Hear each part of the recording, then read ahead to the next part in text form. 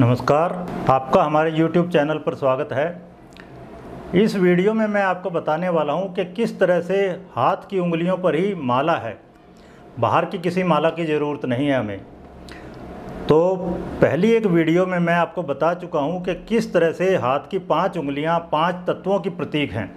ये है fire element इससे चौथा one two three four earth element पृथ्वी तत्व, इससे चौथा one two three four air element वायु तत्व। इससे चौथा एक, दो, तीन, चार वाटर एलिमेंट जल तत्व। और इससे चौथा एक, दो, तीन, चार स्पेस एलिमेंट और इन्हीं पाँच उंगलियों के कॉम्बिनेशन से अलग अलग मुद्राएँ बनती है। तो पूरा मुद्रा शास्त्र इन पाँच उंगलियों के तत्वों पर आधारित है। और जब हम एस्ट्रोपामिस्ट्री पढ़ते हैं तो इन्हीं उंगलियों के पूर्वों पर बारह राशियों का विधान किया जाता है। हथेली पर सत्ताईस नक्षत्रों का अलग अलग दिशाओं का, भावों का तो हर एक चीज़ हमारी हथेली पर हमारे हाथ में है। इसको हम बारह राशियों से, बारह भावों से, सत्ताईस नक्षत्रों से, ग्रहों से जोड़ सकते हैं। तो आज हम बताने जा रहे हैं आपको कि किस तरह से उंगलियों के पर्वों पर ही माला है। तो पहले मैं एक श्लोक लेता हूँ। ये श्लोक है, अंगुल्यग्रे च यजप्तम। यजप्तम मेरुलंघने पर्व संदेशु यजप्तम। त्रिविधम निष्फलम भवेत।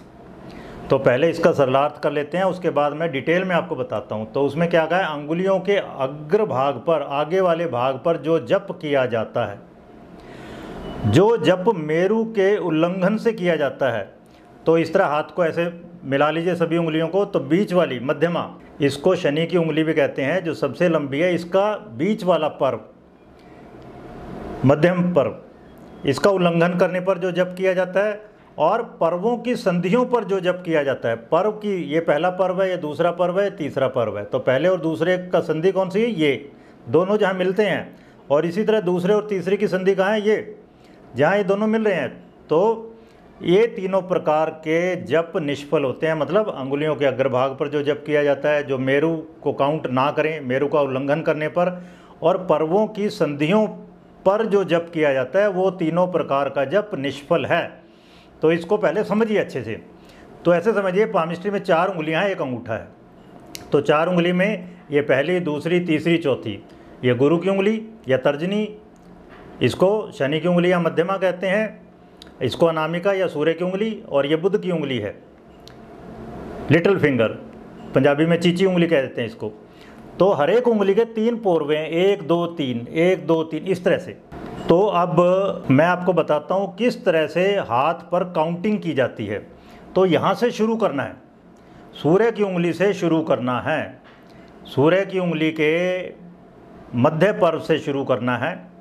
पहले मैं इस हाथ से काउंटिंग करके बता देता हूँ फिर दूसरे हाथ की ज़रूरत नहीं है वैसे तो यहाँ से काउंटिंग करेंगे ओम नमः शिवाय एक ओम नमः शिवाय दो ओम नमः शिवाय तीन ओम नमः शिवाय चार ओम नमः शिवाय पाँच ओम नमः शिवाय छः ओम नमः शिवाय सात ओम नमः शिवाय आठ ओम नमः शिवाय नौ ओम नमः शिवाय दस ओम नमः शिवाय ग्यारह ओम नमः शिवाय बारह और फिर यहाँ से तेरह तो ये बारह एक काउंटिंग हो गई तो उसको इधर वाले हाथ पे आप रख लोगे।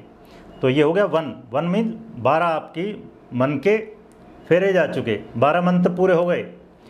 तो ये मेरू है। ये है मेरू। और आप देखेंगे, अब जब हम यहाँ से शुरू करें, एक, दो, तीन, चार, पाँच, छः, सात, आठ, नौ, दस, ग्यारह, बारह। कहीं भी आपने उंगली उठाई नहीं है, किसी को भी स्किप नहीं किया। किसी भी पर को स्किप नहीं किया।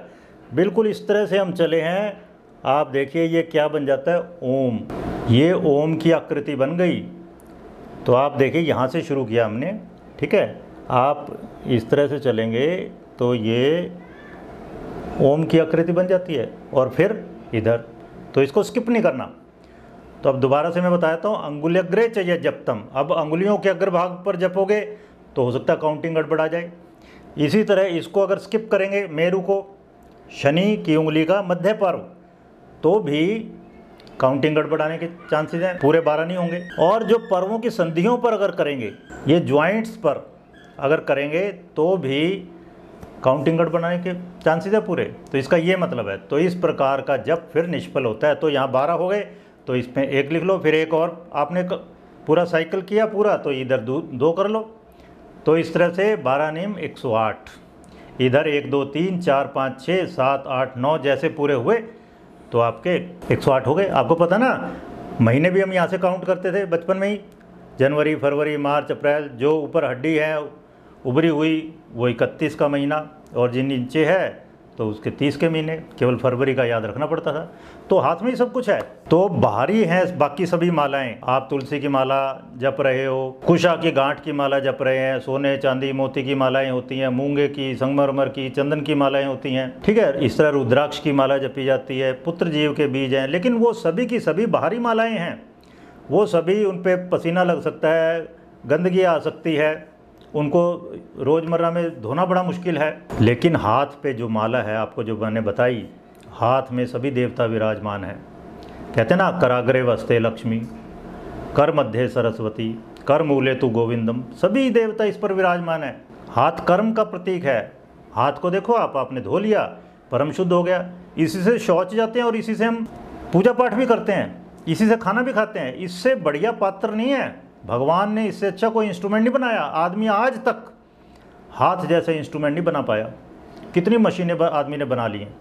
तो माला जो है, उसमें जनरली 108 मन के रखे जाते हैं। हमारे यहाँ देखिए 27 नक्षत्र हैं। वैदिक ज्योतिष में 27 नक्षत्र है और हर नक्षत्र का चार चार चरण है। हर नक्षत्र के चार चार चरण हैं। तो 27 गुणा चार 108 इसलिए 108 संख्या क्या हुई? 27 नक्षत्रों के 108 चरण तो हर चरण के लिए एक मन का। इस तरह से भी कह सकते हैं। और एक और आठ जुड़ के क्या हो जाएँगे? न्यूमरोलॉजी के हिसाब से लें तो नौ। One plus zero plus eight is nine. नौ क्या है अल्टीमेट सिंगल डिजिट नंबर है। तो 108 मन के इस वजह से भी माला बनाते हैं। एक तांत्रिक विधियों के लिए एक ग्रंथ मिलता है। तंत्र की क्रियाकलापों के बारे में है ये शारदा तिलक। तो इसमें कहा गया, शत्रु नाश के लिए अगर माला जपनी है तो पंद्रह मनकों की माला होनी चाहिए। आत्मा की मुक्ति के लिए माला जपनी है तो 25 मनकों की हो। सभी उद्देश्यों की पूर्ति के लिए जपनी है तो 27 मनकों की माला हो। धन दौलत के लिए माला जपना चाहते हैं तो 30 मनकों की माला हो। अलग अलग इच्छाओं की पूर्ति के लिए जपनी है, जिस तरह विवाह है, एजुकेशन में सफलता, बच्चे की प्राप्ति, नौकरी चाहिए, बिज़नेस चाहिए या पदोन्नति चाहिए तो उन सब में चौवन मनकों की माला। तो ये 108 तो हर तरह से बढ़िया है। बाकी अलग अलग कामों के लिए अलग अलग इच्छाओं की पूर्ति के लिए अलग अलग मन के, मनकों की संख्या है। तो मन के मैंने बताई दिया, शुभ पदार्थ के होते हैं, लेकिन हाथ से ज़्यादा शुभ कुछ नहीं है। तो हाथ में माला जपिए, बहुत बढ़िया परिणाम आते हैं इससे। धन्यवाद। आप सभी स्वस्थ रहें।